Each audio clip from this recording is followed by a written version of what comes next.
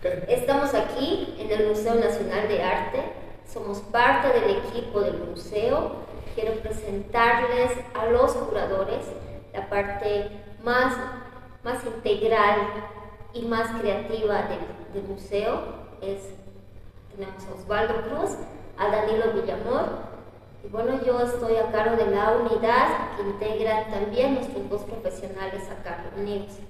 Vamos a hablar esta tarde sobre un tema muy importante, sobre los retos que vamos a afrontar la siguiente gestión 2023, pero también antes queremos recordar todos los trabajos que hemos venido desarrollando esta presente gestión que está a poco de terminar. ¿Cómo se sienten chicos? ¿Cómo, ¿Cuál es el espíritu después de haber casi concluido esta gestión? Osvaldo. Bueno, en principio ha sido un año con muchos desafíos y bastantes problemas también. Creo que se han ido solucionando a partir del trabajo, fundamentalmente en equipo, ¿no? a partir de la dirección, la, unidad, la, la unidad, y todas las dependencias que tiene el museo, porque es un engranaje constante de trabajo que se va generando a partir de una planificación anual, sobre todo en el área que yo estoy a cargo, que es eh, exposiciones temporales. Entonces, a partir de esto se planifica y se va generando el trabajo en conjunto con, con diseño gráfico, con montaje, con conservación, con la colección. Entonces, toda una dinámica que se va organizando y este año que culmina el 22 efectivamente ha sido un desafío, pero que hemos sabido superar de manera colectiva en el museo. Sí, ha sido bastante enriquecedora la experiencia de trabajar en equipo. Daniel, ¿cuál es tu impresión sobre todo lo que hemos desarrollado este año? Eh, muy buenas tardes. Eh, bueno, en realidad sí, coincido plenamente en que ha sido un año lleno de actividades. Eh, hemos tenido muchas exposiciones gracias al apoyo, gracias a la iniciativa de, artistas eh, que quisieron exponer sus obras acá en el MNA. También hemos tenido algunas exposiciones que hacen a la colección, que bueno, han afortunadamente recibido varios elogios de gente que nos ha podido visitar, que ha podido apreciar eh, artistas eh, nacionales en su máximo esplendor. Evidentemente ha sido un año lleno de retos, algunas dificultades que creo que las hemos podido salvar como, como, equipo, ya que se trata justamente de eso, ¿no es cierto? De que las diferentes eh, áreas que componen el Museo Nacional de Arte, a la cabeza del director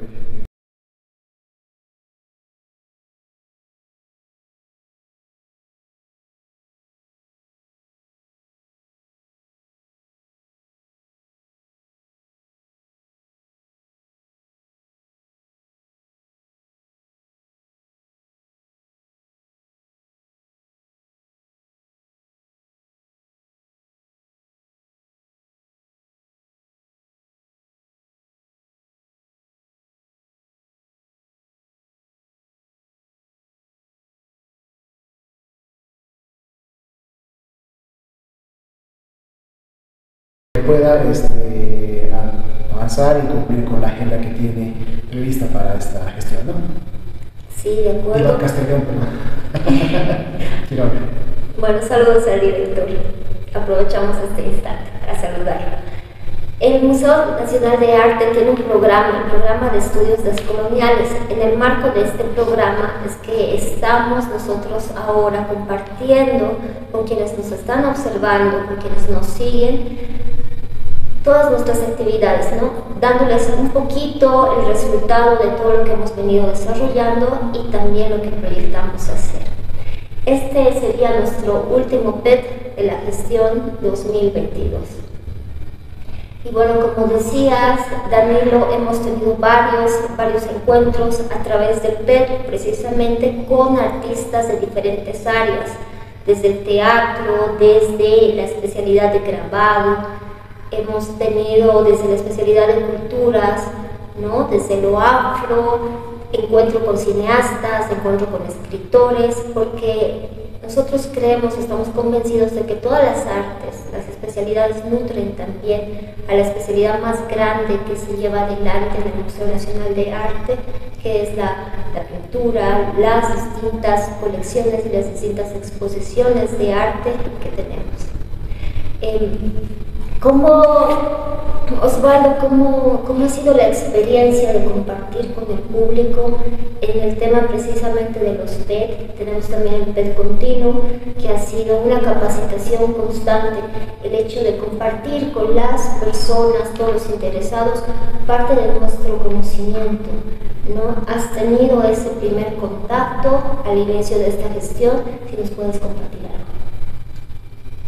Uh, bueno, Tuve la experiencia de participar en el PER continuo con una temática que era sobre las técnicas y los oficios de las artes en, el arte precolonial, colonial y también contemporáneo. Es una aproximación a, esa temática. Y me tocó pasar de salir del, del COVID a lo presencial y fue un esfuerzo grande del MNA para que podamos volver a tener un auditorio presencial, porque todavía había ese temor de los contagios y todo eso, entonces, en, a pesar de esa circunstancia, se llevó adelante ese desafío y comenzamos nuevamente a tener ese público que se tenía antes de la pandemia. Entonces, lo presencial se ha convertido hoy en día en una dinámica ya con bastante fuerza, con un público ya permanente y eso lo puedo ver también con el P de diálogo cuando hicimos con Margarita Vila el tema de David. Entonces el público estaba sentado incluso en, los pasillos del, del Patio Cristal. Entonces ya nos muestra que es posible generar estas actividades culturales y de formación para el público en lo presencial. Entonces estamos ya en otro momento en el que tenemos que cambiar estas dinámicas de, de lo, mm, de lo presencial fundamentalmente. Sí, correcto. ¿Cuál ha sido tu experiencia, Daniel? También has participado de estas jornadas. Sí, bueno, eh, pienso que es una iniciativa de marcar importancia que lleva adelante el museo porque nos permite eh, interactuar con el público, eh, nos permite brindar eh, espacios de no solamente formación, sino también de reflexión sobre temáticas vinculadas al arte.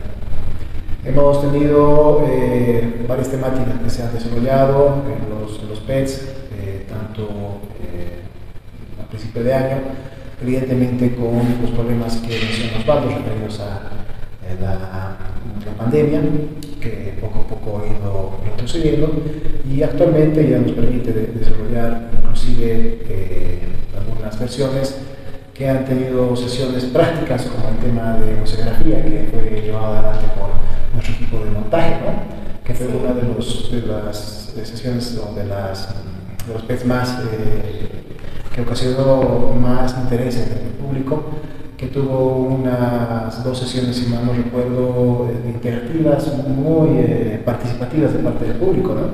Entonces eso demuestra en primera instancia que en el museo tenemos la capacidad, tenemos el personal profesional a la altura de poder desarrollar este tipo de talleres, este tipo de cursos, y en segundo lugar hay una muy buena respuesta por parte de la gente. ¿no? Existe el interés por eh, acudir al museo y participar junto con nosotros en estas actividades. Sí, es una referencia muy importante, como lo acabas de decir, porque además hay interés en estudiar desde las distintas o las distintas especialidades que integran los profesionales en el museo. ¿no? Son áreas muy lindas y el tema de interactuar con la población ha sido muy importante.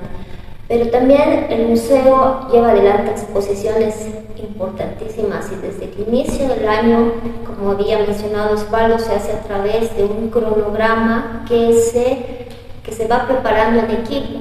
Si nos puedes comentar cómo van estas exposiciones, un poquito en referencia a lo que antes el Museo Nacional de Arte llevaba adelante eh, nos decías, por ejemplo, o sabíamos, sabemos que antes el museo no desarrollaba más allá de cuatro exposiciones temporales, pero ahora tenemos muchas más y tenemos una cantidad increíble de artistas que cada vez más nos abrimos a conocerlos y aperturamos ese conocimiento también a la población. Osvaldo, contanos sobre eso, por favor. Sí. Este año hemos llevado adelante entre exposiciones de colección y las temporales 18 actividades en los 12 meses del año.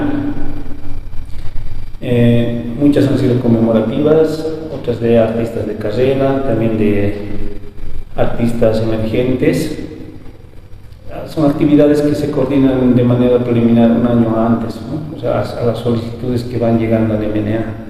Eh, nos gustaría aperturar de manera más abierta este, esta temática de, de las solicitudes y las programaciones e invitar además a los artistas, sobre todo emergentes, de generar y producir arte, ¿no? Porque muchas veces eh, hay el deseo, pero no hay la obra. Es un, un, problema casi permanente. O sea, un artista joven o, o, también de carrera quiere exponer en el MNA, nos han llegado solicitudes, pero por muchos factores eh, no logran cubrir una sala. ¿no? Es un, una cosa que hay que tomar muy en cuenta, que la obra tiene que estar casi presente, diríamos, para hacer una programación. Es eh, tal vez la única dificultad. Después, eh, el MNA actualmente, desde que está Iván Castellón, es eh, muy difícil ver selecciones de, de currículums, etc. Lo que nos interesa es que la obra sea potencial para ser expuesta. Entonces tenemos casos, por ejemplo, de como Cristian Raime, joven artista que ha expuesto de manera excepcional en 10 de Medina, y como también es Salvatierra, una artista cochabamina de carrera, mujer ella, pero nos ha mostrado toda su capacidad pictórica, ¿no? Y así vamos a ir viendo con, varios, hemos hecho también una conmemoración a Eduardo Espinosa sobre um, los sistemas de tortura de las dictaduras. Entonces, en memoria, en el pasado también hemos reconocido con una muestra también a Miguel Yapurdaza, eh, un pintor eh, potosino, muy, muy, de muy alta calidad pictórica y de muy alta escuela, además este, de lo poco que ya queda en Potosí, pero nos ha mostrado toda esa experiencia como una conmemoración de toda su carrera. Hay muchísimas temáticas que podemos ir tocando y muchísimas también formas de expresar arte. No siempre eh, son los lienzos, no siempre son las esculturas, eh, pero estas dinámicas también esperamos que nos lo propongan a la, MNA. O sea, hay muy, muy poca propuesta en, muchos momentos, entonces eh, dificulta esta apertura que está haciendo en un sentido democrático el MNA. ¿no? Pero la democratización no solamente por democratizar, hemos estado viendo este tema de la despatriarcalización, el tema uh, también de la incorporación y del elemento uh, femenino, uh, no solamente eh, en el personal, sino también en la propuesta artística y cultural que nos, se nos está presentando en esta nueva dinámica del Estado plurinacional. Entonces, esta apertura tiene varias lógicas y varios sentidos que el MNA está aperturando. Entonces, esa es un poco la visión, retrotrayendo a lo que hemos hecho el 22, pero mucho más para hablar, como de Dalí, Crespo Gastelú. Y eso, y un poquito destacar también de que se ha hecho también una investigación y una introducción eh, de elementos como Crespo Gastelú, que, que trabajado todo el personal y que seguramente Daniel nos va a dar pormenores de eso, pero que a mí particularmente me ha realmente encantado ser parte de ese equipo de, de esta incorporación gracias a la señora Giasiles, ¿no? Sí, por supuesto, Osvaldo. Yo quiero rescatar lo que acabas de decir y complementar un poco ¿no? desde esta, esta visión, desde esta concepción, que, desde esta línea que tenemos eh, desde la Fundación Cultural del Banco Central de Bolivia y a través de nuestro director Iván Castellón Quiroga, el MNA aperturado, como decías, la democráticamente. Entonces, todas las especialidades de arte se miran, dialogan y es un encuentro. Si nos falta propuestas, por ejemplo, de, sobre instalaciones, sobre, sobre arte contemporáneo, se ha discutido mucho qué, qué tipo de, de, arte debería tener o debería exhibirse en el museo Y yo creo que en el, en el museo lo que es un espacio de diálogo y de encuentro, ¿no? Es una, es una ventana junto con los artistas, con sus ideas, también con el pasado, porque tú has mencionado muchas obras que enriquecen nuestra historia boliviana y que aportan precisamente a recuperar, a rememorar parte de nuestra historia y eso es un legado muy importante. Y como, como ya lo invitaste a Danilo, yo también quiero pedirle a Danilo que nos comente y nos aporte más sobre esta investigación, sobre este trabajo que se ha desarrollado en equipo con las obras de David Crespo Castelú, el pintor del altiplano, y además el hermoso, no vamos a decir descubrimiento, pero el, el poner en valor el trabajo y el aporte de su esposa, Rosenda Caballero, conocida como Gloria Serrano, esa puesta en valor ha sido muy significativa para esta gestión, ¿verdad, Daniel? Así es, justamente. Mm, en realidad, el Museo Nacional de Arte tiene eh, varias atribuciones, varias, varias misiones, varios ámbitos en los que desarrolla su trabajo. Está obviamente lo que es el, la salvaguarda del patrimonio, reconstruir sus colecciones, está la conservación, también está la investigación, ¿no es cierto? Pero también está la adquisición de nuevas eh, obras de arte, ¿no? Y esto se lo hace a través de los medios, uno es el de las adquisiciones, ¿no es cierto? Está dentro de nuestras competencias poder adquirir algunas obras, evidentemente con algunas limitaciones presupuestarias que generalmente, eh, gustaría tener mayor presupuesto, desafortunadamente no lo contamos, pero otra forma eh, en la que el Museo de Arte también recibe o, o acrecenta su colección es a través de las donaciones, ¿no? Y este año, evidentemente, hemos tenido eh, algunas donaciones importantísimas, todas ellas. Eh, solamente por mencionar dos, eh, tuvimos, por ejemplo, la donación de las obras de Ricardo Pérez Alcalá, ¿no es cierto? obras inéditas llegaron acá a Bolivia a través de las gestiones de, de la señora eh, que era pues obviamente la pareja y acompañante de, Ricardo Pérez Alcalá, que tuvo la movilidad de hacer las gestiones para poder traer las obras hasta Bolivia. ¿No es cierto? Con apoyo de la Cancillería. Con apoyo de la Cancillería, las gestiones de la Fundación Cultural del Banco Central de Bolivia, llegaron esas obras y bueno, ahora son parte de la colección. ¿no? Eh, fue un evento de bastante importancia, tuvimos presencia eh, de inclusive canciller de la, del Estado de Bolivia, quien mencionó y relevó eh, la, el papel protagónico que eh, en ese momento tuvo la Fundación y la NNA a través de mostrar y haber generado la posibilidad de que puedan llegar estas obras a Bolivia. ¿no? Otra de las eh, importantes donaciones que tuvimos este año eh, fue evidentemente la que realizó eh, la nieta de un reconocido artista, excelente dibujante, pintor, que es David Crespo Castelú. Me estoy refiriendo a la señora Ligia Celes. ¿no? es la nieta de este artista que pues, es uno de los más reconocidos eh, a nivel nacional en cuanto se refiere a los inicios del siglo XX con este periodo del arte de carácter indigenista. Eh, esta obra de manera parcial estuvo expuesta durante varios años en un museo que se llamaba exactamente así, Museo Indigenista de Castelú, que estaba ubicado en Miraflores. Por voluntad eh, de la señora Ligia Siles, esta colección que compone más de 6.400 piezas entre óleos, eh, acuarelas, eh, dibujos, ah, varios bocetos, objetos propios de, de, la pareja, pues ha pasado a atención de la Fundación Cultural del Banco Central de Bolivia para resguardo acá en el Museo Nacional de Arte. En este marco eh, se pudo realizar una de las exposiciones más grandes, si no fue la más grande que se ha producido en Bolivia, con tres salas. ¿no? bueno, estos días está todavía invitada esta exposición, invitamos a toda la gente para que pueda visitarnos. Estamos en la sala previa, por ejemplo, donde se brinda una introducción sobre dos personalidades. Porque detrás, o al lado, mejor dicho, de David Crespo teníamos a Gloria Serrano.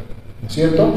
eh, esposa, pero también artista, eh, literaria, escritora, una mujer revolucionaria, ¿no es cierto?, que acompañó y fortaleció la obra de David Crespo Gastelum.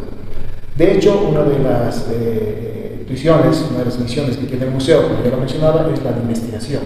Y justamente, en el marco de haber recibido las obras que llegaron al Museo Nacional de Arte, se hizo una investigación respecto a los archivos que se encontraban también eh, formando parte de esta donación. Ahí, ahí pudimos encontrar eh, nuestras investigadoras, Daniela, eh, Tatiana también creo que estaba en ese momento, Tatiana Siles, nuestra conservadora, estaba inmiscuida en el tema, pues ellas pudieron percatarse de la importancia que tuvo la figura ¿no es cierto?, de Gloria Serrano en la vida de David Crespo Gastelum y del indigenismo en general. Entonces, esta primera sala a la que hago referencia es justamente una introducción que permite a los visitantes enterarse de quién era David Crespo y quién era Gloria Serrano y cuál fue su papel dentro de este periodo de indigenismo del siglo XX. La segunda sala, que es eh, la más grande que, una de las más grandes que tenemos aquí en la MNA, que es el Tempicatu, está orientada a poder mostrar la obra pictórica y vamos a encontrar la mayor parte de sus obras eh, en cuanto a mm, óleos, témperas eh, y otras obras más.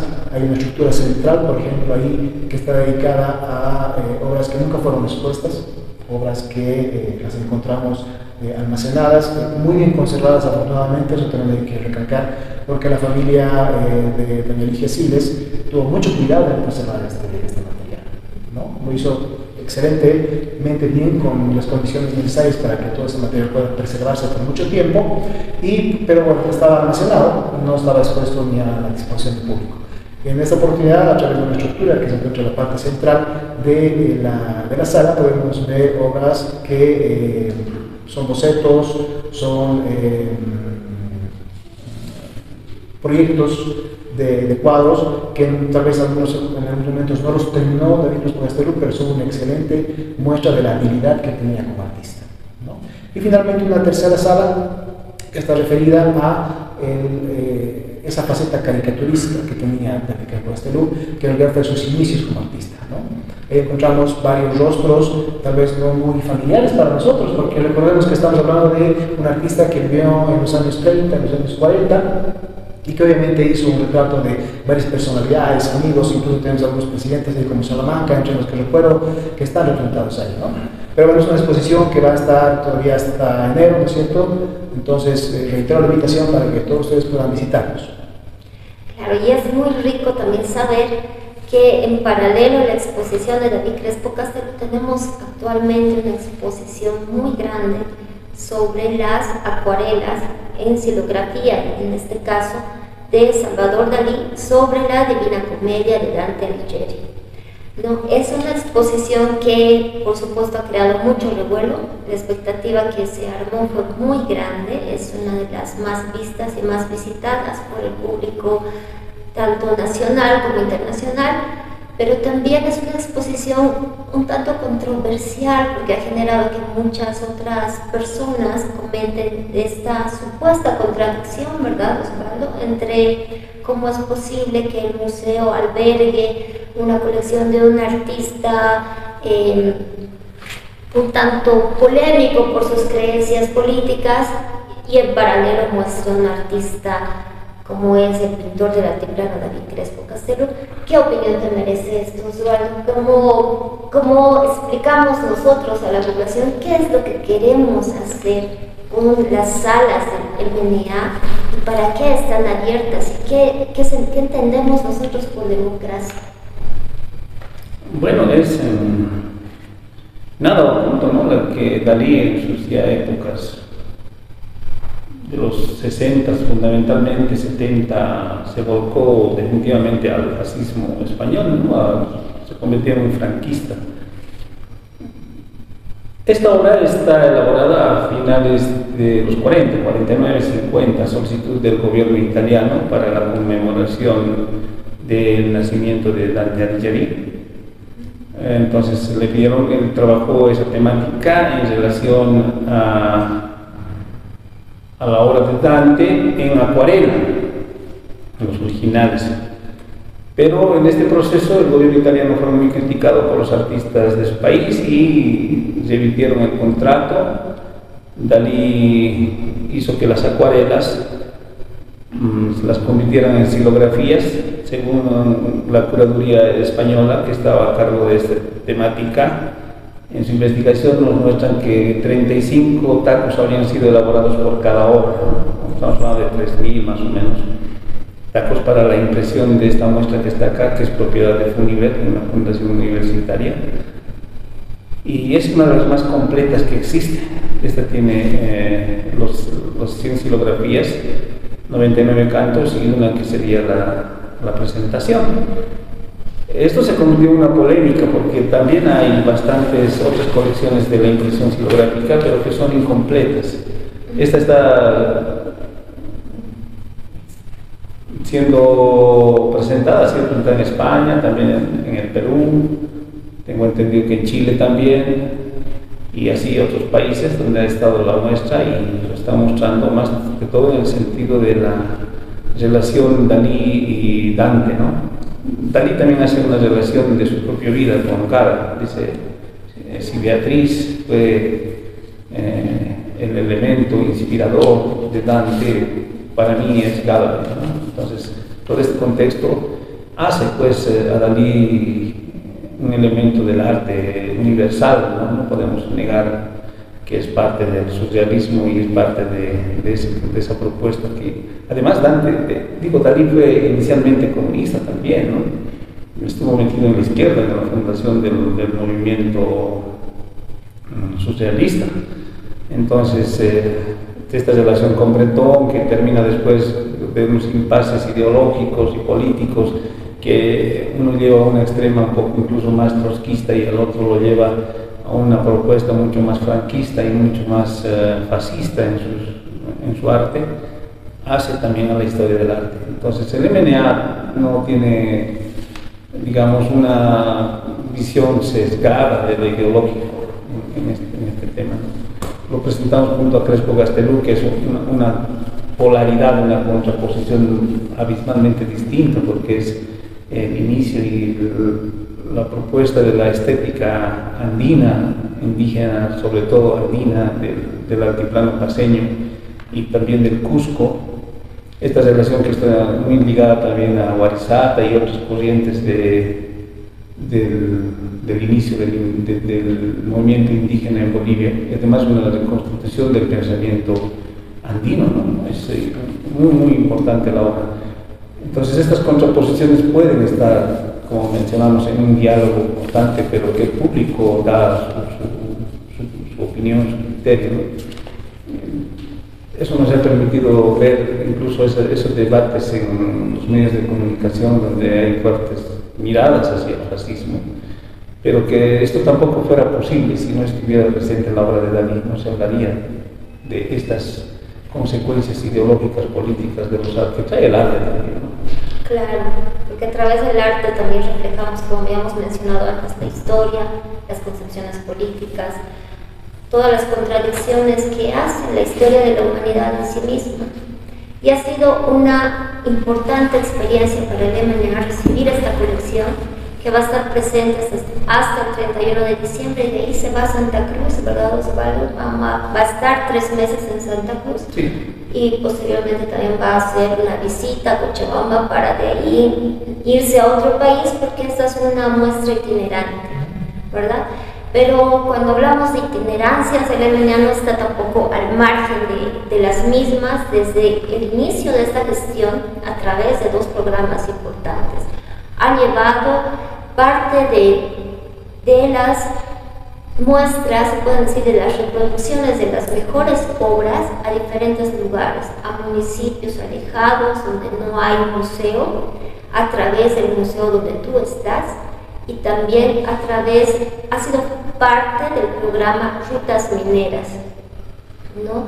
Esta gestión ha sido muy enriquecedora por esas experiencias que han permitido que el MNA tome contacto con poblaciones lejanas como las poblaciones, por ejemplo, los centros mineros. Hemos estado en Catavi, hemos estado en, Yayagua, hemos estado también en Oruro, hemos estado en diferentes lugares donde colegios, familias han podido conocer las réplicas. Y una de las réplicas más, más llamativas y más importantes ha sido también las réplicas de las obras de Miguel Aladia Pantoja, el denominado pintor de la revolución, que es, es un personaje central de nuestra historia del arte boliviano. ¿No? Danilo y sobre Miguel Aladia Pantoja también estamos haciendo ciertas gestiones para poder, para poder contar con obras de arte de este gran pintor, ¿verdad? Sí, bueno, ya de hablar de Aladia Pantoja es hablar de uno de los artistas más reconocidos a nivel internacional en cuanto se refiere al muralismo, ¿no es cierto? Eh, además del contexto social y político en el que había desarrollado su obra, de Pantoja, es muy, muy significativa para Bolivia. Allá por los años 50, previos y durante la Revolución, sabemos que se han producido varios eventos dramáticos en nuestro país y pues la obra de Ana Pantoja lo que pretende es justamente reflejar, crear eh, reflexión a través de sus obras para la población, ¿no? en ese momento en el que realmente había tanta, tanta crisis en nuestro país. La Fundación Cultural Banco Central de Bolivia obviamente está haciendo su máximo esfuerzo para poder adquirir esta colección eh, igual de, en varios formatos, en varias técnicas que utilizaba este importante artista. Esperemos pues que durante la próxima gestión ya podamos contar con esta magnífica obra como parte de la colección de la. Perfecto. Y también hemos tenido un programa importantísimo, el MNA en el Alto, que nos ha permitido interrelacionarnos con artistas del Alto, con personas que están estudiando arte en, esa, en la ciudad más joven de Bolivia. Hemos tenido experiencias muy ricas, ¿no? Con la fotógrafa Guara Vargas, por ejemplo, se ha dado un taller en el Alto que ha formado parte también de una exposición titulada Mirar, porque a través de la fotografía hemos conocido la historia de los primeros habitantes de la ciudad alteña. Esto ha sido también muy rico, ¿verdad? O sea, chicos, como curadores, ¿cuál ha sido la experiencia de interrelacionarnos con esta fabulosa muestra fotográfica? Bueno, incorporar a jóvenes en, las artes es importante, ¿no? Un país requiere desde niños, jóvenes, incorporar elementos humanos que puedan generar dejarnos una memoria cultural del país, que por lo general el arte refleja también parte de esa memoria, entre lo material y lo material que se va produciendo. Y esto se ha reflejado en esa experiencia de, los fotógrafos y fotógrafos jóvenes, además del alto, que nos han mostrado una experiencia y una capacidad de aprendizaje además muy, muy próximo a su realidad de muy rápida aceptación. Y cuando hemos expuesto la muestra acá en el MNA ha sido también de bastante éxito. Lo que nos permite ver es que no necesariamente se requiere una muy larga carrera artística para eh, recurrir, digamos, a, a salas, sino más bien una obra que sea contundente, con bastante técnica o con bastante expresión de lo que se quiere hacer, ¿no? ya sea instalación, pintura, escultura o performance. Entonces eh, es una puerta que abrir no solamente al alto, sino a todo el país para que los jóvenes artistas se incorporen a este sistema de producción y de expresión del arte. ¿no? Hay formas y estas formas se deben se adecuan, no, necesariamente estamos en, en, lo estricto, digamos, del lienzo y aparentemente muchos piensan eso, abrir y usar este medio para invitar a todos los que quieran presentar los proyectos para que se los analice y se los trabaje además de manera próxima con ellos para que puedan tener un espacio en el MNA. No, siempre es una exposición de 45 días, es una exposición que puede durar minutos, no ser tan transitorio, pero que puede expresar mucho, que puede decir algo de lo que se quiere decir. Y a través, perdón Danilo, a través de tu programa, precisamente el que estás a cargo del Estudio 1, complementarlo si quieres. No, eh, eh, creo, que es importante mencionar esto, ¿no? de que el, MNA pues, en este momento está en un proceso de expansión en cuanto a su infraestructura. Tiene previsto el acrecentar su área expositiva, pero también tiene eh, planeado para las gestiones subsiguientes el crear espacios de interacción con diferentes estamentos de la sociedad. Pero a pesar de que en este momento tenemos las salas llenas, tenemos este, los depósitos eh, obviamente casi formatados en cuanto a su capacidad. Eh, también contamos con un espacio para jóvenes.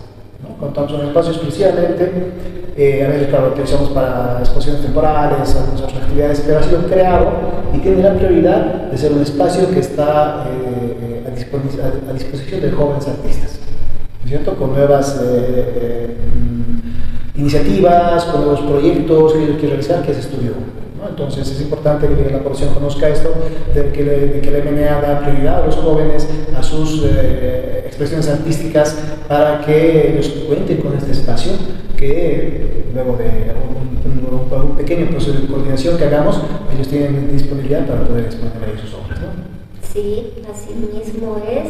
Y claro, tenemos, como habías dicho, si quiere expandir el MNA, pronto, si todo sale bien, como estamos llevando adelante, la restauración de la Villa de París para tener también allí más salas en las que se puedan dar mayor espacio a los artistas, ¿verdad? Así es. Eh, tenemos actualmente, justo en la Villa de París está Estudio 1 y Taipicato, la sala Taipicato, en la que actualmente se expone David Crespo Castello. Sí, así es. En bueno, ya este uno es eh, un espacio de iniciativa, de principio de, las actividades de arte. Puede estar orientado correspondiente a jóvenes, pero hay gente también que tiene una edad distinta, que, pero que quiere aprender y quiere experimentar el arte. Entonces, todos están invitados a estudiar uno, ¿no? No siempre es el arte no es generacional yo entiendo así, no, hemos tenido varias experiencias este año en la que, por ejemplo, ha estado Cristian Laime que ha hecho, él es muy joven, pero tiene una obra eximia, comparable a alguien de mucha carrera, digamos. ¿no? El arte también es ideológico, es político, como el caso de Eduardo Espinosa Soto, ¿no? que ha fallecido, pero nos ha mostrado una obra contundente en el, tema de la denuncia política de los sistemas de represión fascista de la dictadura de Banzer, de Pinochet, del Plan Cóndor, ¿no? Entonces, los sistemas de tortura que han existido en ese momento, expresadas en el arte, ¿no? También es denuncia política, pero también puede ser estrictamente estético, puede ser estrictamente eh, temporal, no hace, pero no veo la carrera yo particularmente como un, hecho de tiempo, sino más bien de capacidad de expresión, ya sea corporal, pictórica, eh, puede ser escultural. Entonces, esto hace que el, arte sea dinámico, no siempre son los mismos soportes pueden los soportes distintos. Y esto es un poco estudio, es una puerta abierta a todo ese tipo de expresiones. ¿no? Entonces, eh, no es un espacio cerrado, es un espacio abierto a todas estas nuevas prácticas de arte, o como también prácticas eh, y técnicas eh, muy antiguas, hasta incluso primitivas, pero que hacen al arte como una expresión cotidiana, permanente, política, ideológica, hasta maternal, es todo, la cultura y el arte son la expresión de todo. Eso es lo que queremos que el MNA asuma como un espacio eh, no solamente expositivo, sino también de expresión, fundamentalmente de expresión del arte. Claro que sí, Osvaldo. Mientras hablabas precisamente de los artistas que han podido, que se han presentado en esta gestión, a mí me gustaría que comentes un poco la cantidad de artistas de los cuales hemos conocido su obra y un poquito también hablar de por qué hay este vacío en el tema de artistas mujeres, por ejemplo. Mira, entre las actividades, tenemos 18 actividades expositivas Es decir, hemos tenido muchas más actividades entre conciertos, eh, presentaciones de libros eh, y otras actividades eh, no previstas o solicitadas, digamos, pero que están en el ámbito de la relación del arte. ¿no? Entonces, también se da cobertura a esos espacios. En salas hemos tenido 182 artistas, viendo que la Bienal de la Acuarela, por ejemplo, era como 99. El resto son de otras exposiciones temporales eh, colectivas, como de la ABAP, otras que han habido como Ramiro Mendieta, Freddy Murillo, Orlando Alandia, que los tres han expuesto.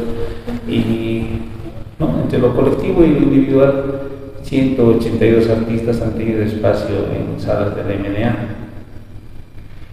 De las mismas, eh, individualmente eh, identificadas así como exposiciones específicas de artistas mujeres son cuatro.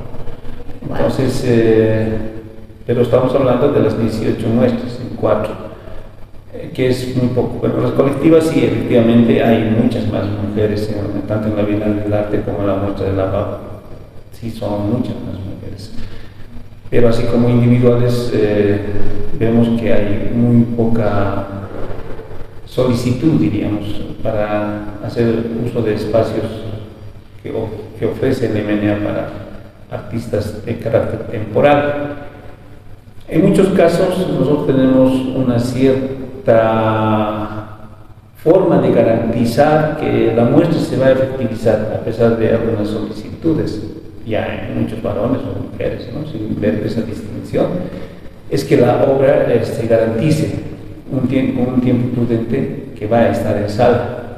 Entonces, para eso generalmente hacemos una visita a los talleres donde verificamos que la artista nos va a garantizar que, por decirte, a la sala 10 de Medina entran entre 30 lienzos de mediano tamaño. Hablando de mediano, es un metro aproximadamente, puede variar un 20, más, menos. Pero en ese formato Estamos hablando de aproximadamente 30 hombres, ¿no? Eso es lo que hay que garantizar, que una sala pueda tener esa cantidad de horas. Pero si es una instalación, una sola puede abarcar toda la sala, eso es de acuerdo a la propuesta que se está haciendo. Y en eso no, hemos tenido más que cuatro concretizaciones, cuatro exposiciones concretizadas por artistas mujeres lo que nos da es un indicador de que hay que trabajar mucho más esta temática, ¿no? Para ah, efectivizar eso que estamos hablando y preguntando, digamos, la democratización, la despatriarcalización. En ese sentido, ese futuro es un trabajo muy fuerte por parte no solo del MNA, yo creo que por todas las entidades de, de educación en arte, de espacios de arte como otros museos, no solo el MNA, en el que tengamos que aperturar no solamente espacios expositivos, sino espacios de formación también hacia las, y a las y los eh, habitantes de nuestro país en todo sentido. Entonces, eh, el tema mujer está pendiente y el tema arte también. o sea, es complejo, ¿no? no es tan fácil visualizarlo así. Claro. Eh, como MNA nos, nos, aguarda el reto más grande, ¿verdad? Y tenemos que llevar adelante la siguiente gestión, la nueva exposición permanente o bianual, si se quiere. ¿no? Y es una exposición que integra el arte precisamente de las mujeres artistas de Bolivia. Así es, eh, Jacqueline, eh, como Museo Nacional de Arte, como Fundación, hemos eh, asumido el reto de realizar una exposición con objetos, de arte de colección, cierto? a la cual obviamente vamos a añadir algunas expresiones artísticas de carácter más contemporáneo, pero va a ser una exposición que va a estar planteada en más o menos unas 10 salas de si estamos hablando de las salas de colección, una exposición que va a tener una duración de dos años. Entonces, este, ya desde ahora estamos trabajando, estamos iniciando con los procesos, en primera instancia, de acumulación y de sintetización de información. ¿no es cierto? Es de este modo que se ha desarrollado el seminario, que ha tenido obviamente eh, la temática principal de mujeres, que va a ser una de las herramientas que vamos a utilizar fundamentalmente para poder crear esa narrativa en cuanto a la temática que hemos escogido y poder desarrollar en esta ocasión. Eh, alineado a lo que mencionaba eh, Osvaldo referido a la cantidad de, eh, de, mujeres artistas, pienso que es importante mencionar que dentro de la colección de la MNA, después de haber realizado una, una revisión somera, todavía no completa, de la cantidad de artistas, por ejemplo, que tenemos dentro de la colección de mujeres, eh, esta eh, no eh, sobrepasa el 2 o 3% en realidad. Es decir, ahí nos damos cuenta de que hay una grave ausencia de artistas, mujeres o experiencias artísticas que, de las que carece obviamente el MNA. ¿no? Estamos hablando de una colección que tiene más de 9.000 obras de arte y solamente un pequeño porcentaje representado por unas 100 artistas mujeres es lo que tenemos actualmente en, los eh, depósitos culturales acá en el MNA. Lo que indudablemente nos muestra de que ha habido una grave ausencia de algunos sectores de la población, minoritarios, que posiblemente están en situación de vulnerabilidad, como por ejemplo con los indígenas, eh, la exposición que actualmente tenemos como la exposición eh, de colección denominada Miradas Indígena Originales Campesinas, justamente develó ese hecho. ¿No es cierto? Develó de que en el MNA existe una grave carencia de, eh, de representaciones artísticas realizadas por pueblos indígenas, por indígenas o de representación de carácter Es por eso que eh, esta exposición, justamente una de las intenciones que tiene es eh, revelar ese hecho, ¿no? de crear conciencia en la sociedad de que los repositorios eh, culturales, museos, a veces están influenciados por este elemento colonial, ¿no es cierto? ¿Cómo afecta el colonialismo a los museos? ¿no? podemos entrar a un debate bastante prolongado, que no es en este momento, pero podemos mencionar unas cosas. ¿no? Por ejemplo, está el tema de las definiciones de, de, colección. Es decir, ¿qué elementos van a entrar a las colecciones de los museos? ¿Bajo qué criterio se va a escoger qué obras de arte van a ingresar o van a ser adquiridas, van a ingresar a las, colecciones de los museos? ¿no?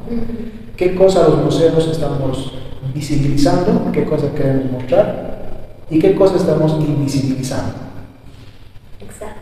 Por el momento, con este pequeño diagnóstico, evidentemente lo que aparentemente sucede es que no se está visibilizando, por lo menos de manera adecuada, a pueblos indígenas y a mujeres. Porque son los dos sectores poblacionales que están representados en menor medida dentro de la colección de pues, uno de los repositorios, y el repositorio más importante que tenemos de arte en Bolivia, que es el MNA. cierto?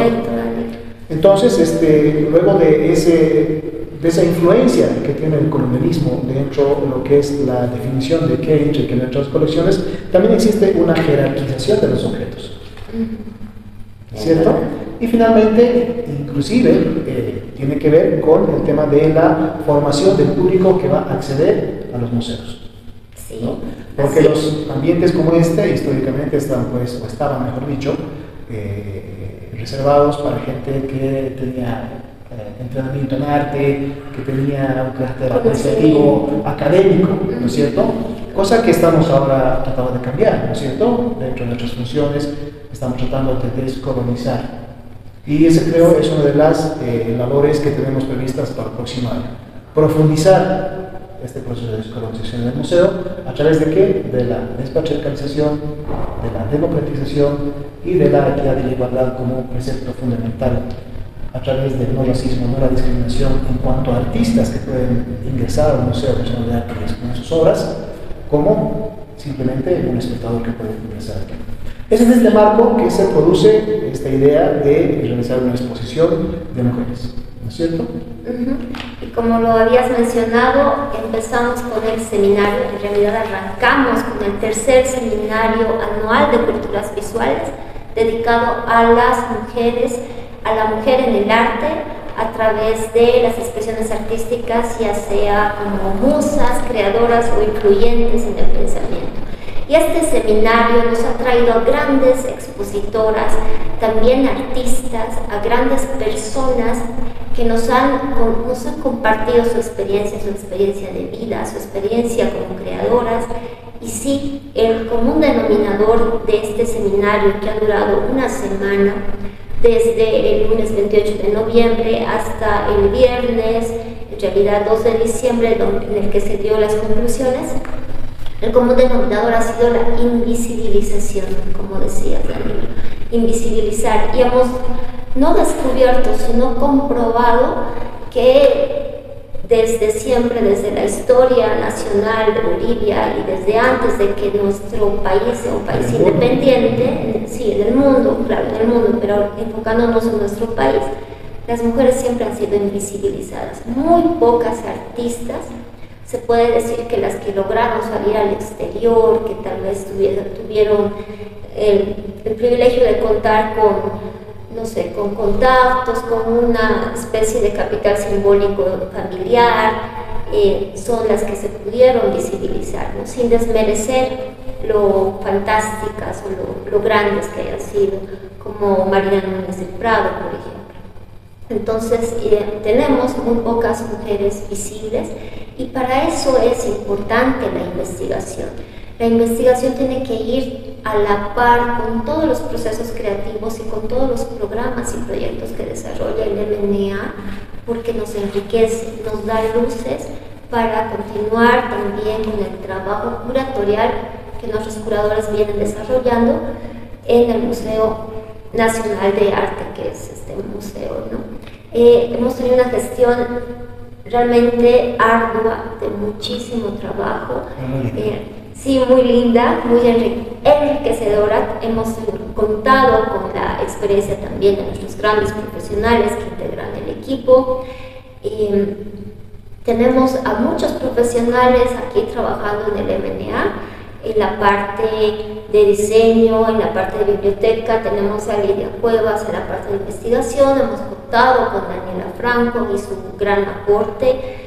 Em, tenemos en, en, conservación, tenemos en comunicación, es importante tener ese contacto tanto con los medios tradicionales como con las redes sociales. Entonces, contamos con un equipo bastante comprometido que va a encarar la siguiente gestión y, por supuesto, invitamos también a los medios, a los medios de comunicación a interesarse por lo que estamos desarrollando. ¿No? y conocer, conocer nuestra versión, conocer el trabajo, conocer. Es importante que se conozcan estos procesos que encaramos como equipo, ¿verdad, Osvaldo? Y así también asumimos el 2023 con toda la fuerza y el engranaje que tiene este equipo para llevar adelante todo lo que se va a venir en 2023. Y, y es importante, como había mencionado también el artista Mauricio Bailo en la última charla magistral que tuvo precisamente el seminario, es importante destacar y rememorar el trabajo artístico de las mujeres. Y es verdad, este museo, que esta gestión, no olvidemos, ha cumplido 56 años de trabajo y de apertura al público boliviano, encara también el reto de ser un espacio mucho más democrático por los siguientes, si queremos decirlo así, 50 años, ¿verdad? Gracias. Chicos, ¿qué expectativa para el siguiente año, aparte de, emitir, no sé, una feliz de desear a, todo, a todos los que nos siguen y a todos los que están interesados en el arte, de desearles feliz Navidad y además feliz Año Nuevo. ¿Qué otras, qué más les podemos invitar? Bueno, yo en principio quiero agradecer a un equipo que acá en el museo les llamamos, les denominamos hormiguitas, las hormigas. Es el equipo de montaje, que sin su colaboración muchas cosas serían imposibles de hacerlas. Son gente que conoce todo lo posible montaje, lo imposible también, lo que no existe se inventan y con un muy bajo presupuesto que hemos estado teniendo últimamente, eh, ellos lo hacen posible con toda su creatividad, su experiencia. ¿Y qué más esperar para el 23? Esperar que los artistas y las artistas que nos están viendo se animen a hacer propuestas al MNA. Esa es una esperanza que tenemos, no, no siempre somos las personas que vamos a ir a invitar a alguien con mucha trayectoria, un, un gran artista reconocido, para que después los medios nos aplaudan y nos feliciten. Y no siempre es así. ¿no? Lo más importante para nosotros es tener iniciativas externas nuevas, frescas, y eso es el artista, ¿no? y el artista también. Eso es lo que queremos tener el 23 y cubrir este desafío grande de la muestra anual que va a ser con la temática de mujeres, que a pesar de ese 3% que nos menciona Danilo, ese 3% es, tiene que ser lo cualitativo, lo fundamental y lo importante de esta muestra. es lo que yo espero para el 23 y también desear a todos y todas que tengamos un próspero año, no solamente en el MNA, sino para el país, que este país se fortalezca, que este país deje de tener las confrontaciones que, que se están generando por algunos fascistas que nos están llevando a un debate en, interno en el país y que se pueda consolidar la democracia, que se pueda consolidar esta esperanza del pueblo boliviano de seguir adelante con un proceso de cambio que se consolide y fundamentalmente que el arte sea un puntal de este crecimiento de, del país también. Por supuesto que sí, Danilo. Pues bueno, a todo el, eh, el público que siempre nos, nos acompaña, este, decirles de que eh, la próxima gestión, el año 2023, vamos a tener una agenda igual o más llena que la que hemos tenido este año.